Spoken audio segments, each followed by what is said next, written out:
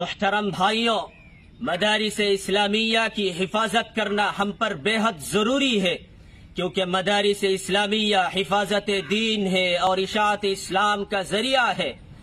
दुनिया के जिन खत्ों में मदारिस इस्लाम और उलमा खत्म हो गए, वहाँ इस्लाम और मुसलमान खत्म हो गए।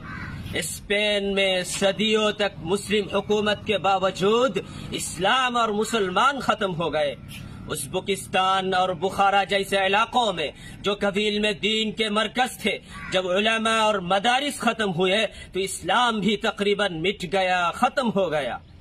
लिहाजा मुसलमानों पर ज़रूरी है कि वो मदारिस इस्लाम के क्याम और उनके तहफ़ की फ़िक्र करे और उलमा का एहतराम करे, क्योंकि उलमा इस रूए ज़मीन पर हिदायत के चिराग है, जो अपने आप को मिटा कर, मशक्कत में डालकर मिल्लत को रोशनी पहुंचाता है।